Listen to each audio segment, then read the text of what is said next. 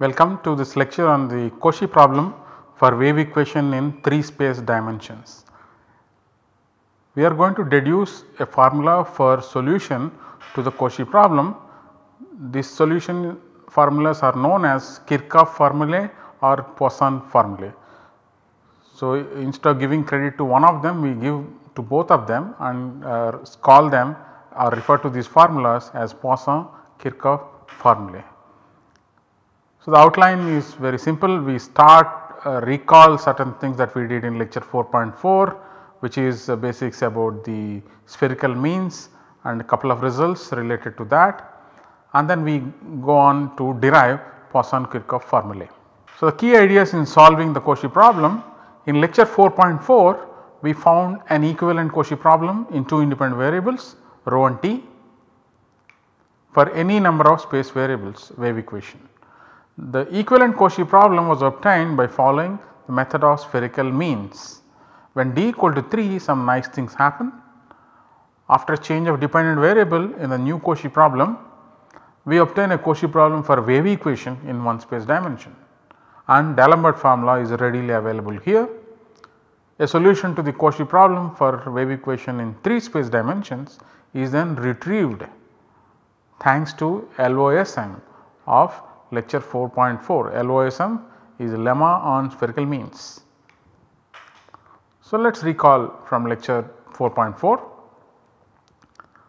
definition of spherical means for a continuous function we define spherical mean of g as a function of x comma rho denoted by mg of x comma rho which is integrate g over the sphere sx rho multiply with 1 by mod sx rho sx mod sx rho is the surface measure of sx rho. So, we have defined the spherical means by this formula and we have obtained an alternate formula and this formula has an advantage over the first formula because the domain of integration does not depend on x or on rho. So, lemma on spherical means the hypothesis is that if you have a continuous function and define the spherical means fmg then mg can be extended to Rd cross R such that for each fixed x in Rd the mg as a function of rho is an even function. So, let k belongs to n if g is a ck function on Rd then so is this function x rho mapping to mg of x rho it is a function defined on Rd cross R.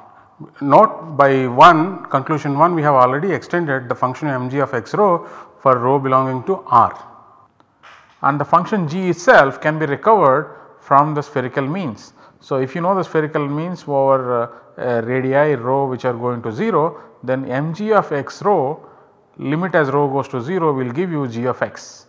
This will happen for every x in Rd. For g in C2 of Rd the Darboux formula is Laplacian of mg with respect to x variable is is this dou 2 by dou rho square plus d minus 1 by rho dou by dou rho acting on mg. So, this is the so called radial Laplacian. So, equivalent Cauchy problem to introduce that we need to define the spherical means of u. So, let u be a C2 function R d cross R be a solution to the Cauchy problem for d dimensional wave equation then define mu the spherical mean of u as usual by the same formula for the spherical means. Now, this mu satisfies a, a different Cauchy problem that is what we are going to say here. So, equivalent Cauchy problems if u is a solution to the Cauchy problem for d dimensional wave equation then the mu solves the following Cauchy problem. Okay, this is the radial Laplacian here c square and this is second derivative with respect to t of mu and these are the initial conditions for mu and dou by dou t of mu. So, this is still not uh, the wave equation. We need to change uh, the dependent variable mu to something else then the right hand side will look like the wave equation. That means uh, right hand side looks like dou 2 by dou rho square of that new quantity. So, this is the Cauchy problem for 3 dimensional wave equation. Now, when d is equal to 3 the d minus 1 is 2. So, this is the equivalent Cauchy problem that we have derived in the last lecture that is lecture 4.4. Now, we are going to change the dependent variable mu this is not the wave the usual wave equation in one space dimension. So we are going to change it to rho mu that we will call as L, L of rho t equal to rho mu. This L will satisfy a one dimensional wave equation let us do the computation. So dou 2 by dou rho square of L rho t is dou 2 by dou rho square of rho mu because L equal to rho mu. So keep 1 dou by rho out take 1 by rho inside when you differentiate the inside quantity with respect to rho you get this plus this with this is the rho times dou mu by dou rho which is here plus mu. Now differentiate uh, once again with respect to rho you get end up with this. So this is actually this okay rho this operator dou 2 by dou rho square plus 2 by rho dou by dou rho acting on mu.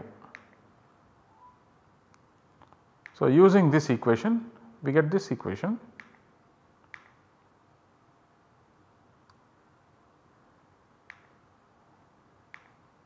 and this in, in terms of L. So, what we have is L satisfies dou 2 by dou rho square equal to 1 by c square dou 2 by dou t square which is nothing but the wave equation in one space dimension. And let us write down the Cauchy data for L. So, L of rho 0 will be this and uh, dou L by dou t of rho 0 will be rho m psi. So, here we have a one dimensional wave equation and the corresponding Cauchy data. Therefore, using the D'Alembert formula we can write the solution. Now, the question is, is the D'Alembert formula going to give you a classical solution? To get that what we need is this function should be C2 because L of rho 0 should be C2 and dou L by dou t of rho 0 should be C1. So, therefore, the question is, is this C2? This is C2 if and only if m phi is C2 with respect to rho right. This is just rho multiplication by rho is a very good thing. So, this quantity is C2 if and only if m phi is C2, this quantity is C1 if and only if m psi is C1.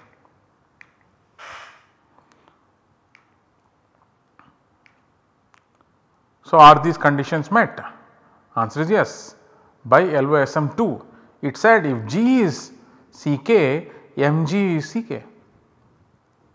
Therefore, what we need is phi is C2 therefore, m phi will be C2 and hence rho into m phi will be C2 which is L rho 0 and we need psi to be C1 so that dou L by dou t is C1 at, at rho comma 0 is C1.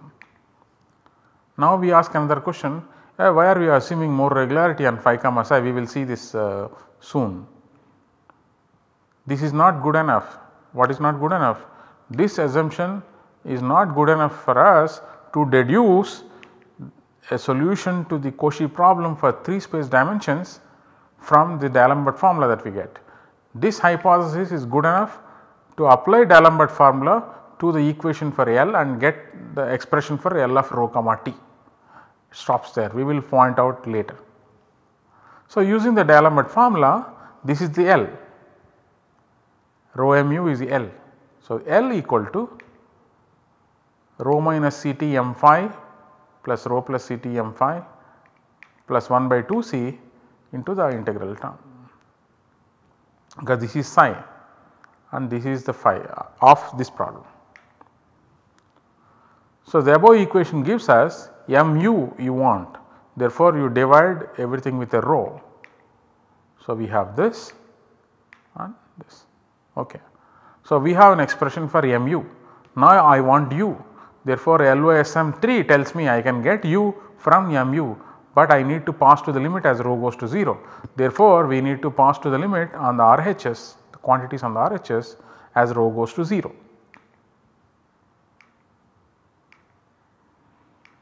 Okay, so let us do that. This is the expression for mu. So, RHS has two terms for ease of presentation we handle them separately and we will be using the first conclusion of LOSM many times What is that? Spherical means are even functions with respect to rho. Okay. The first term is this, we want to pass to the limit in this term. If you look at the numerator, numerator goes to 0 as rho goes to 0 because this goes to minus Ct m phi of x comma minus Ct plus Ct m phi of x comma Ct and m phi is even with respect to the radius variable. Therefore, m phi of minus Ct is m of m phi of Ct. Therefore, it gets cancelled and you get 0 and of course limit of uh, 2 rho is also 0. So, therefore, we are in a position to apply L'Hospital rule. Therefore, the limit rho goes to 0 of this is precisely the limit of the derivative of the numerator, derivative denominator is of course just 2. So, that is why it is 1 by 2 1 by 2. So, the quantity inside the brackets is the derivative of this with respect to rho. So, it is very clear how do we get these terms differentiate this with respect to rho then you get m phi of x comma rho minus Ct. Similarly, this with respect to rho uh, uh, here this term you get m phi of x flow x comma rho plus Ct. Product rule so you have to differentiate this with respect to rho that will give you this rho minus Ct times derivative of this with respect to rho. Similarly, here rho plus Ct times derivative of this with respect to Now, the first term tends to m phi of Ct as rho goes to 0 because as rho goes to 0 this goes to m phi of x comma minus Ct plus m phi of x comma Ct, but both are same because of LOSM that means I have 2 times and then I have a 1 by 2 here therefore, I get m phi. So, it is the easiest term to pass to limit. Now, let us look at the second term and we just write down the formula for m phi. Okay phi formula is 1 by omega d whether here it is 1 by omega 3 into integral on norm nu equal to 1 of phi of x plus rho minus c t nu. Similarly, this term also we can write like this. Now omega 3 is 4 pi and we can put that and uh, the derivative term the dou by dou rho is outside the integral. So, let us take it inside and differentiate we get this because when dou by dou rho goes here I get grad phi and the derivative with respect to rho will give me a nu. So, that is why a nu here. This omega 3 is 4 pi therefore, this became 8 pi. Similarly, the second term also we can write after pushing the derivative inside the integral. So, this is what we have. Now, we want to pass to the limit in this term as rho goes to 0. We obtain this quantity right just straightforward from here and the second term will give you this. So, I take t by 8 pi common I have this expression expression. Now, I pull dou by dou t outside of the two integrals and the one which is inside both the terms are equal therefore, that is 2 times that. So, when it comes out you get t by 4 pi into dou by dou t of this. So, we have finished uh, obtaining the limit of the first term. So, as rho goes to 0 limit of the first term on the RHS of this equation is this. The first term gave us m phi, the second term gave us this. Now, we need to now pass to the limit in the second term here that is much simpler. Yeah, this we can club these two terms uh, like this. Okay, if you expand this you will get this. So, this is a more compact uh, notation, compact form of this formula. So, we identified the limit of the first term, let us do the identify the limit of the second term now. So, this is the limit we are interested in. The integral term goes to 0, why? As rho goes to 0 this integral minus Ct to Ct right and m psi is an even function with respect to the variable s, but there is a s which is multiplying. Therefore, that will be an odd function. Therefore, the integral is 0 when rho is 0 and of course denominator also goes to 0 once again uh, L'Hospital rule that tells us the limit is 1 by 2 c times derivative of this which by fundamental theorem of calculus is this and now we have to take limit of this as rho goes to 0 and that is very simple. Now once again m psi is a even function so it further gets simplified to t into m psi. So now we have obtained all the necessary limits and we can we are in a position to write the formula for u. So, u x t is equal to this, this is the limit of the first term, this is the limit of the second term.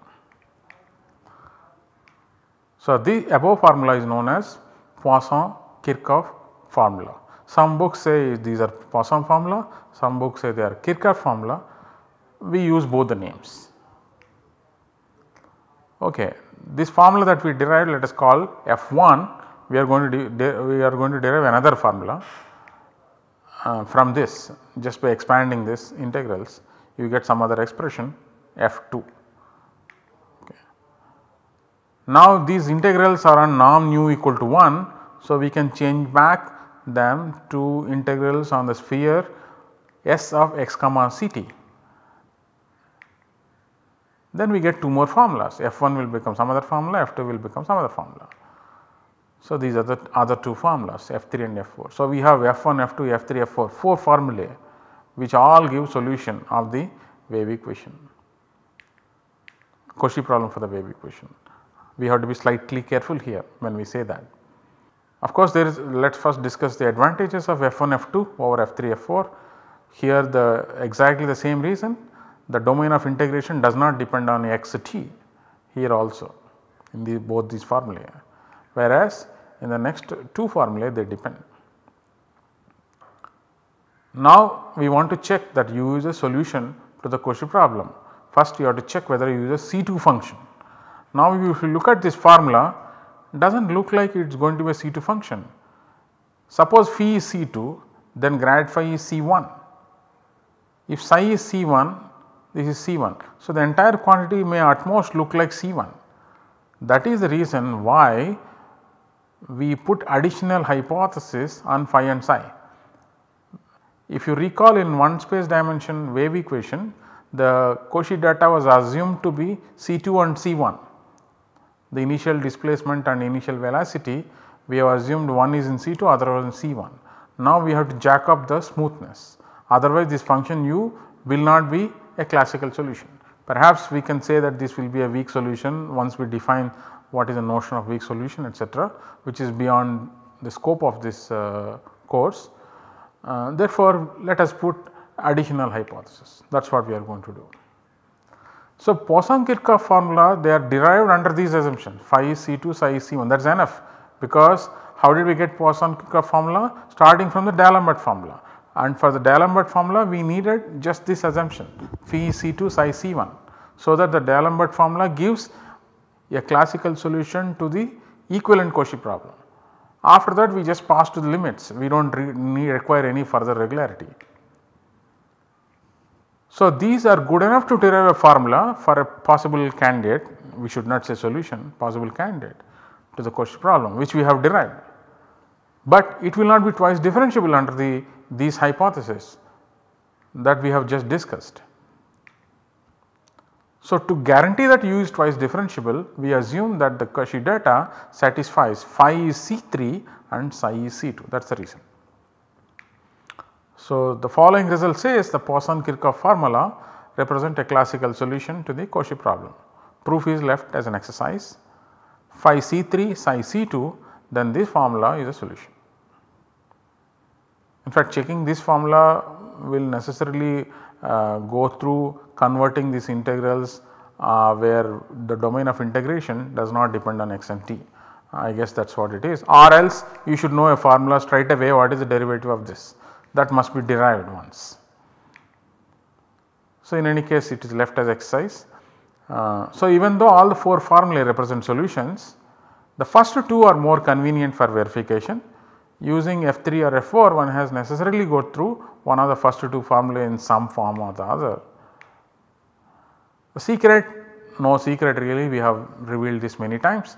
The first two formulae f1 or f2 the variables t and x do not appear in the domains of integration unlike f3 f4. So, let us summarize we have derived Poisson-Kirchhoff formulae for the solution to Cauchy problem for wave equation in 3D. For defining the solution u only the following smoothness is required phi is C2 and psi is C1 only this much is required. However, to guarantee that u is a C2 function we need more smoothness on the Cauchy data which is phi is C3 and psi is C2. So, even though Cauchy data is smoother the solution u at a later time becomes less smooth. Okay. So, this was not the case in one dimension. So, something happens in 3D and we will discuss these kind of issues later. Thank you.